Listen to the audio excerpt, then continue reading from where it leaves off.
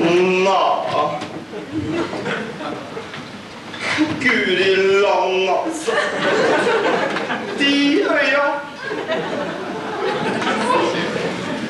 Tenk dere hvor jævlig det må være å være sel, for eksempel. Dritsulten, ikke sant? Og ikke en ressurs.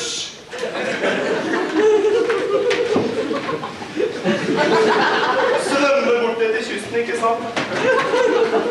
På leiting etter mat. Og hva finner han der, da, stakkars? Bare olje, søl og dritt!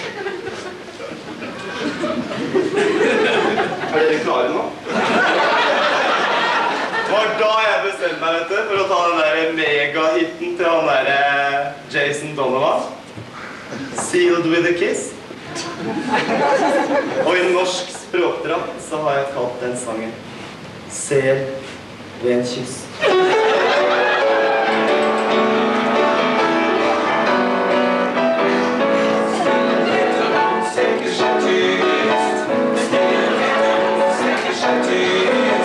Stille